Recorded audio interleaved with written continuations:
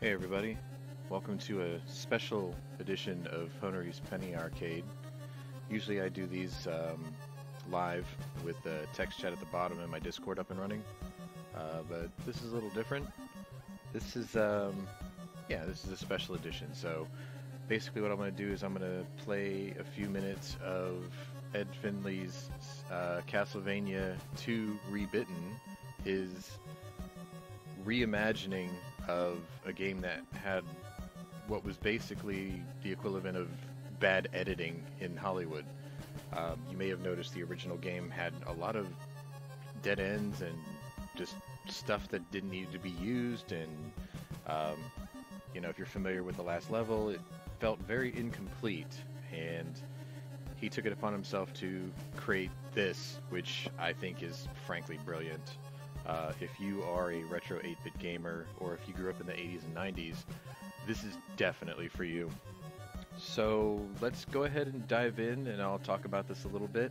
Um, I'm using a um, Sabertooth, a Razer Sabertooth controller, so you can use keyboard if you want. But anyway, let's go ahead and get into this a little bit. Uh, just a little bit, bit of background information. Uh, Retro Gamer 3 is his usual like YouTube name and website, but um, when he makes these recreations of past games, there's they're always incredibly difficult. Like if you were a little kid playing this back in the day, you would have a very hard time. So I do like how much more challenging it is. Um, you're going to notice a lot of differences of this game compared to the original. For instance, you don't have the uh, item selection menu like you used to, but you don't need it. Uh, he's basically utilized all the buttons uh, on your controller, so you don't have to have any like special selection options or whatnot. So I played a couple of minutes of this before, and um,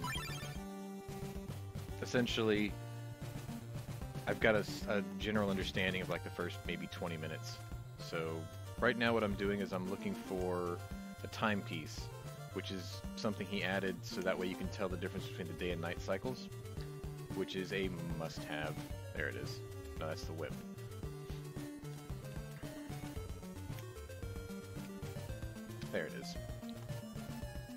So I think the reason he added that money bag up at the top was so you can go ahead and get this early on.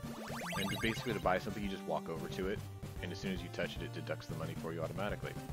So one of the other things in Castlevania that you didn't have before was the money didn't have a purpose, it would just give you score. Now the money actually is money, and the hearts are only for the items, usable items.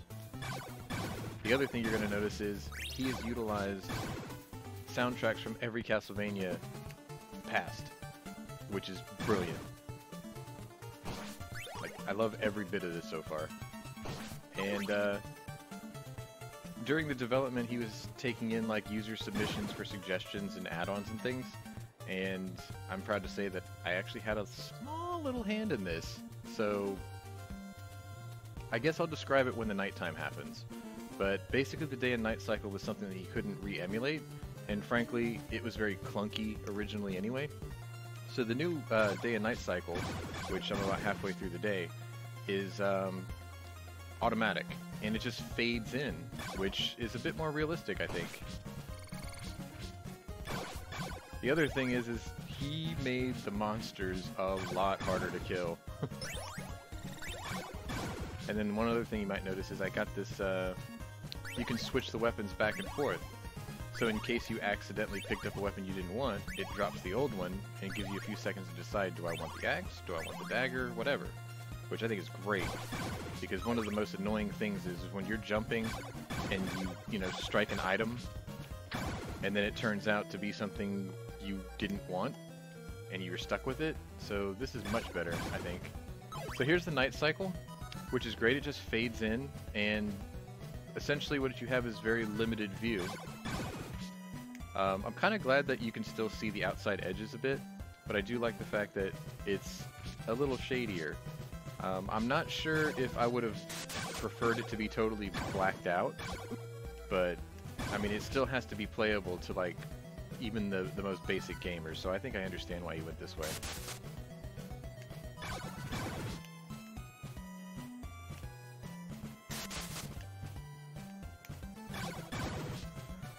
The other thing that makes this game differ from the original is you have one life.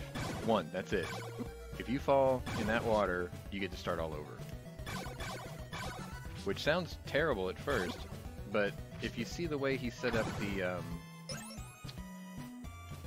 the save system, then you'll understand why he went this way.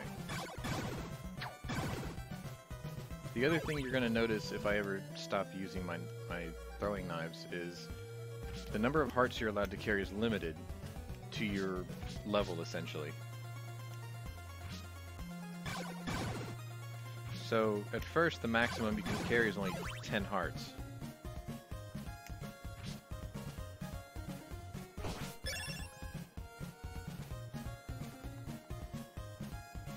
Which means you can only throw 10 items at a time which is sort of a balancing uh, feature, I think. Like, I'm okay with that.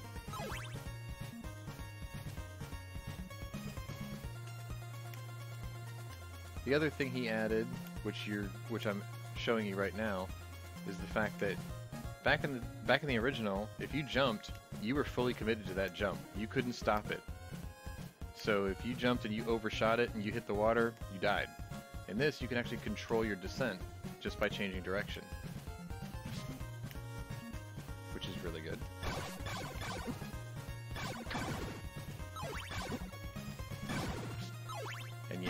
I'm, not very good at this. I may actually die before I get to the bottom.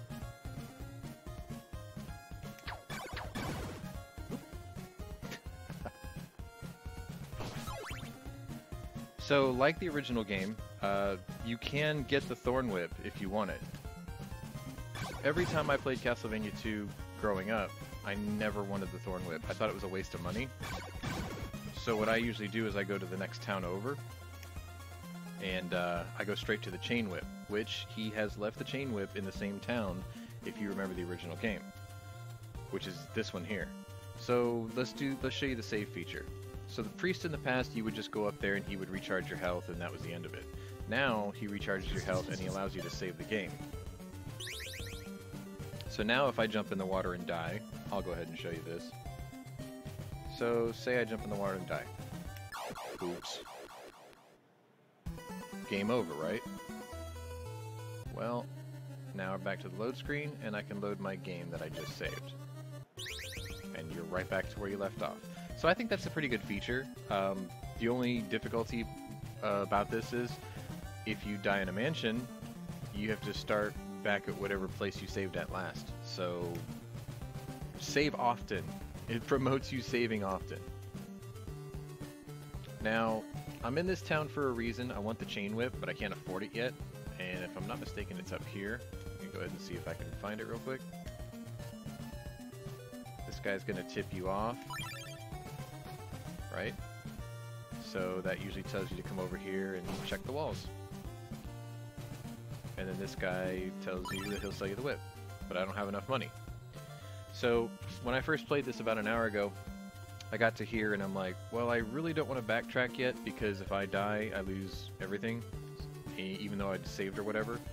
So what I'm going to do is I'm going to sit here in town and let the night cycle kick in. And another really cool feature is the town gets shuttered, just like during the regular day and night cycle, but it happens in real time, which is great. Like everyone just clears the streets and all the doors slam shut. So that little, there it is, the little dial up at the top right corner of my uh, status, that's obviously the watch that I bought. And now what I'm going to do is I'm just going to walk around town and try to collect the money I'm short. Thankfully, like the original, if you just walk back and forth, these things do respawn.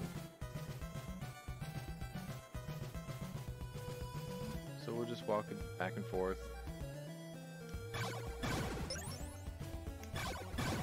One thing I kind of wish though was the um, the night cycle's a bit fast. Like I think it's uh, one third or two thirds, one thirds. So I think that the day cycle is about two-thirds the time it takes, and then the night cycle is one-third, the remaining third. Because it just seems like the nighttime ends a lot faster.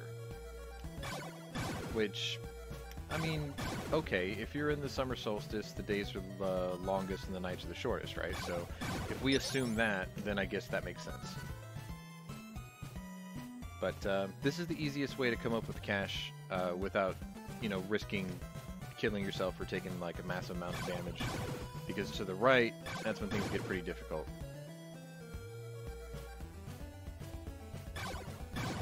So the magic number is... Ah, I missed it. Okay, so the magic number is 1500, so I'm still not there. So what I'll probably do is I'll go in here, I'll save the game again, so I don't lose my progress of, of income.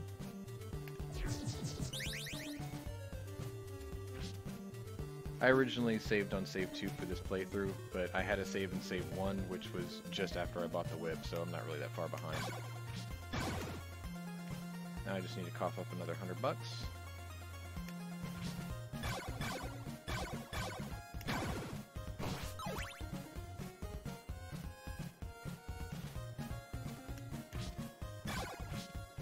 If I remember right, those are the zombies from Castlevania 3.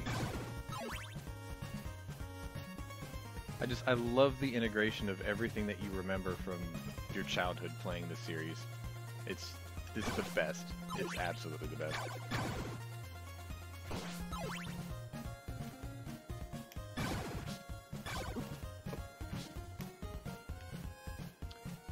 So right now I'm playing it safe. I'm just sticking around the town that I want to buy the item from. Um, I don't think I need the daggers right now. That uh, there's something in that town that I haven't showed you. There's a wall that requires. Uh, there's the money. There's a wall that requires the holy water. So I'm gonna go ahead and take it now. Let's see, I got the money, so let's go ahead and get the whip.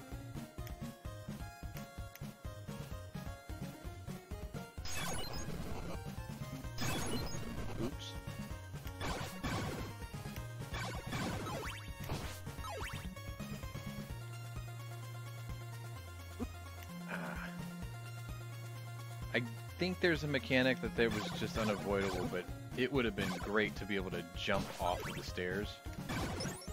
But it's probably like a layering thing, where it wouldn't be allowed. And it sort of gives you that retro feel anyway. I just gotta remember to be more prudent about it. Okay, let's see if I can make it before night.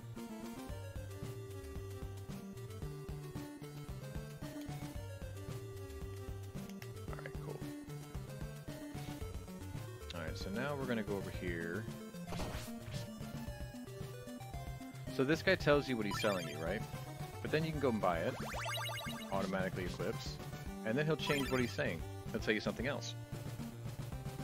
So make sure you talk to everybody you can.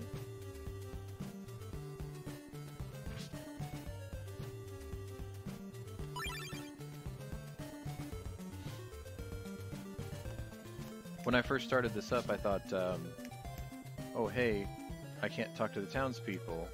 Like maybe there's a button I don't know about, but there isn't. If they have dialogue, it'll give you the little notification that there's dialogue.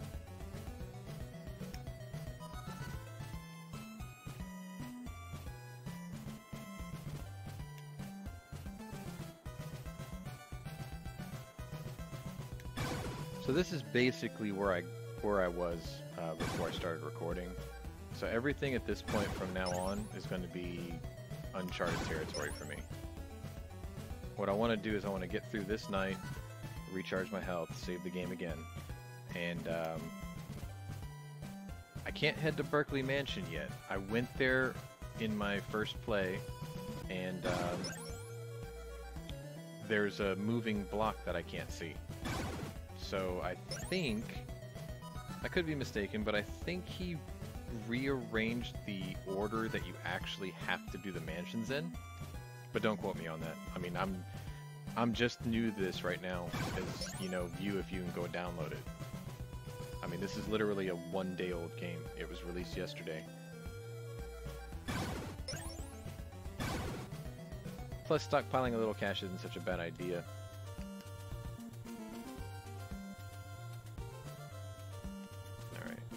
There is. Let's go, let's go find the wall with the uh, the holy water. I think it's the first one.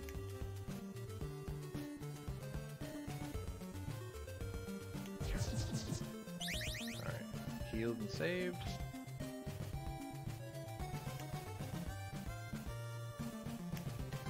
So one feature that he added to this game was certain walls will require certain weapons. So I can't chain through this, obviously but it tells you the symbol of what you need to use, which is nice. And now this guy wants to sell me a torch, and what the torch does is it makes your night cycle view larger. So the, the circle around you is a little bit wider there's a little part of me that kind of wished that if we were going to have a wider view like that, that everything outside of the view should have been just pitch black. But then again, it's a difficulty thing. I mean, there's plenty of difficulty already added.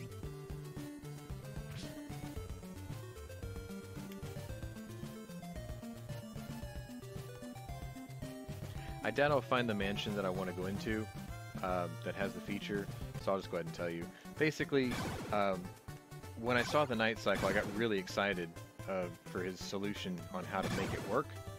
And, you know, when I was a little kid playing this game, one of the coolest things that I thought could be added was if you look inside a mansion in this game, there's not very many candles or torches or anything like that. So you would imagine that if there was a castle or a, or a mansion that had no lighting, then it should be pitch black on the inside. So I just threw the idea to him, thinking that, you know, it might be too late for him to add features to the game because he was already pretty far in.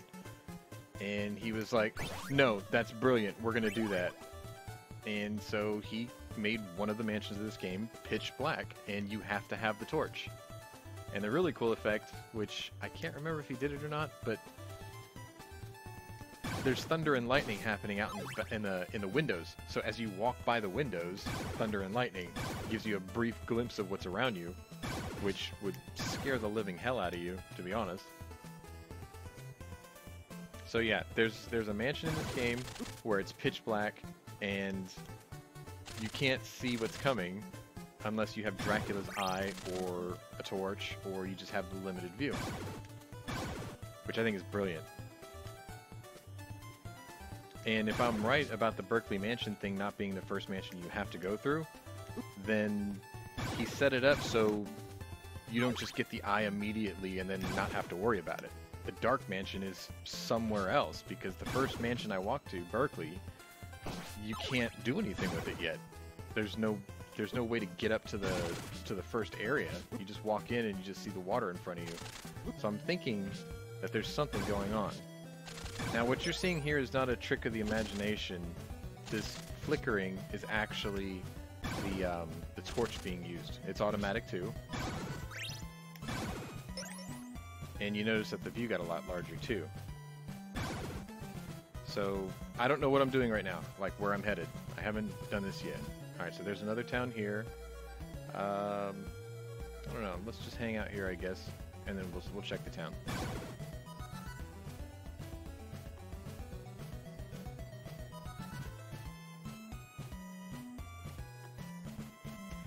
I will leave a link in the description below where you can download this. And you absolutely should. This is like a must-have for any retro game collection. I mean, I still play the original Castlevania 2 from time to time.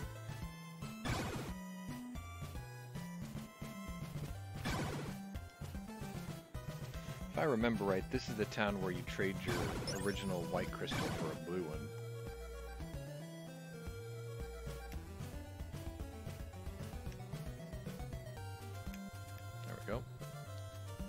So, no, they're not... These guys don't have anything to say. If you don't see the little prompt like this, they have nothing to say. Yeah, so this is the place where you get the blue crystal.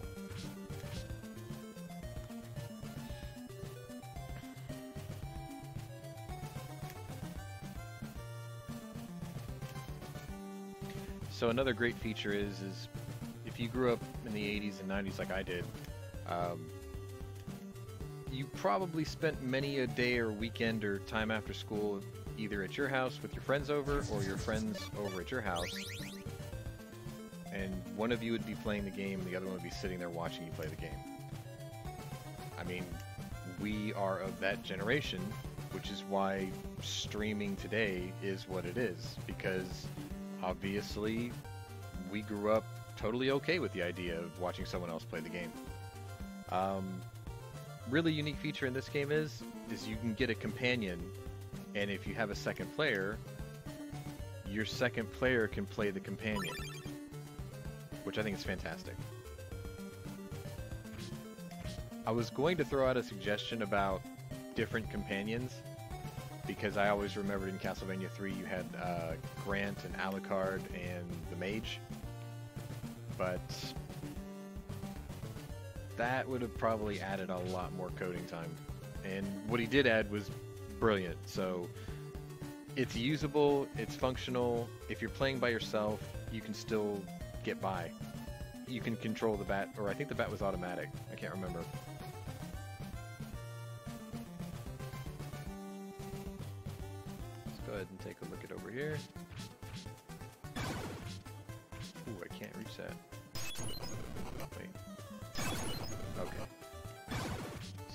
So hit them with the whip, which is nice because it, makes, it forces you to use your items. I really like that. I like the fact that you're constantly forced to use things that you probably didn't have to use before in other games. Or in the other game, rather. So I took the crystal instead of the holy water because number one, I know where the holy water always spawns. We passed it earlier. And number two, there was a block back this way that required a crystal to break.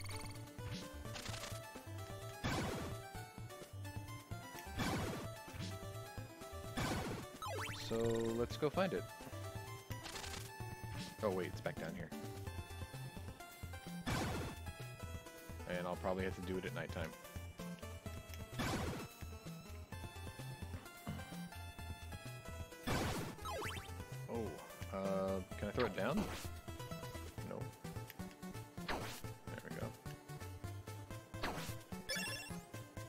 Free money is always good.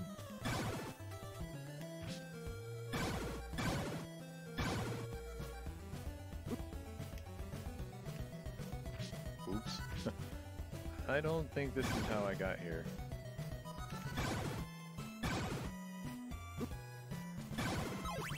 Oh well, we'll figure it out. I mean, this is just an impressions uh, playthrough anyway. Oh no, I'm, I'm gonna keep this. Yeah, this is definitely not the way I came.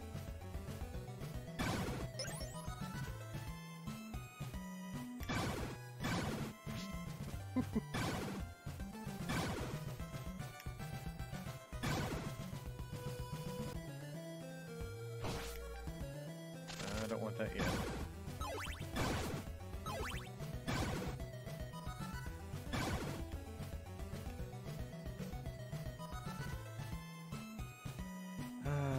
Can't remember how I got to where I was going.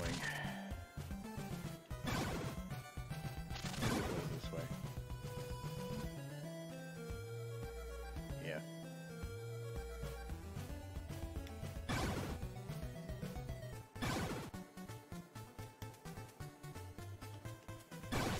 If I remember right, that sphere gives you extra life, which I would need a dagger to get, but I don't have a dagger because I wanted to keep this crystal to reach a certain spot on this map, I believe.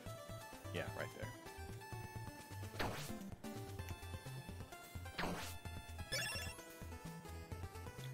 Because money.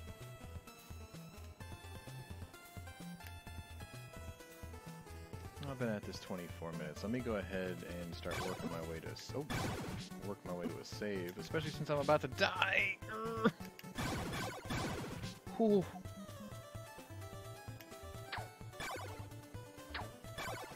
Oh, really? There we go. Oh, let me get to town. Whew. Yeah, losing this much money would probably be upsetting.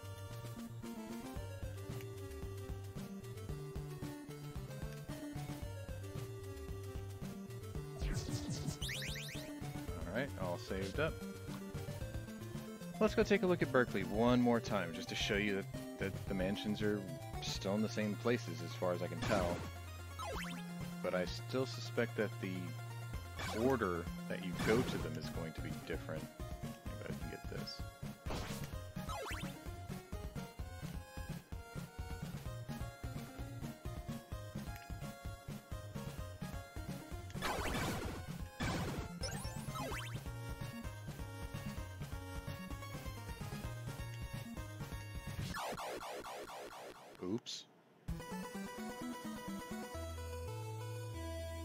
Well, that's why we save, right?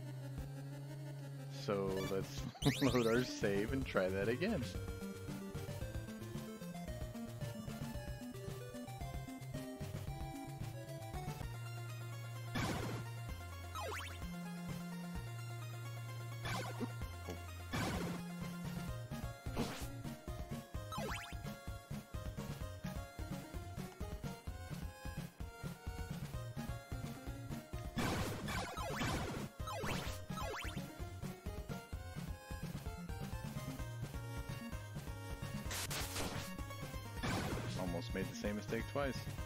Oh wait, I can take this. I think I've already used the crystal as much as I wanted to. Welcome to Berkeley Mansion. So, if you remember the original game, there's a block that moves up and down right in front of where I'm standing. And it's not there. So what I suspect is, is you're not supposed to be here yet. Which is great because that makes you have to do the mansions in a non-original order. See, the other difference of this game between this and the original is the original required you to beat the game in certain amounts of time to get certain types of endings. And I don't think that's the case in this one, so you can take your time. Otherwise, it would be a lot more linear to be able to get the game done in the time it gives you. So I don't think the timer for the different endings is in this game, which is good because now you can be thorough if you're a completionist type. So anyway, um, oh, I need daggers, that's right, because I want to talk to that guy. So now I have to find daggers. Yeah. Alright, so another thing is, is he likes to make it where you have to backtrack a lot, if I'm if not mistaken. I think he said that in one of his uh, other videos, which stretches out the game. But it's not like you're doing it because he doesn't have stuff for you to do. It's just having to backtrack forces you to, I guess, be cognizant of what you're doing and what sequence and what map you're on, or where you're headed. So I need a dagger. So I gotta walk back to the beginning to get the dagger.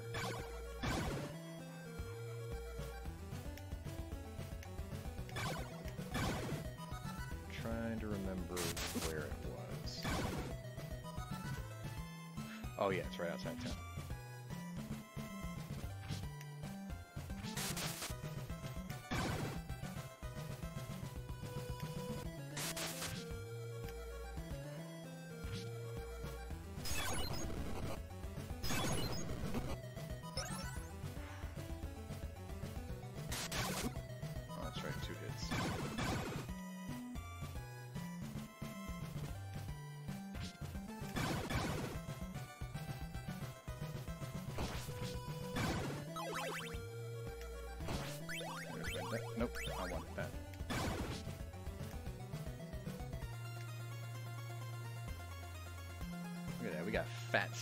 Too.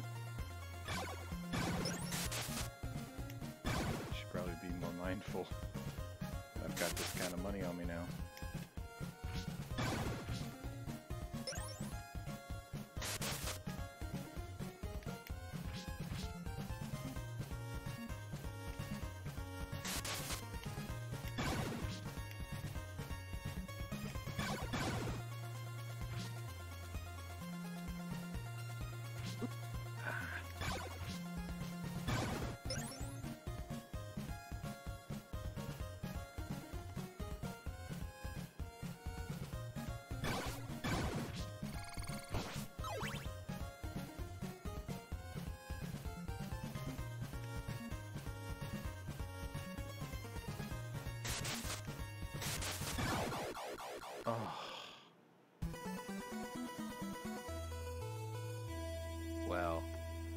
This is Castlevania 2 Rebitten. If you enjoyed it, I'll leave a link in the description below, and you can get it and play it yourself. Ed, you have created something brilliant, and I thank you for it. Anyway, um, if you like what you saw, uh, this is part of what I do on my channel. You can just kind of browse around and see what else I do. Um, but if you found me through the game and you just want to do that, that's cool too. I keep these in different playlists. So um, if you like what you saw, just hit the old like button um, and subscribe if you like what you see. Um, but I guess that's going to do it for me for now. And I hope you enjoyed what you saw. And we'll see you next time. Later.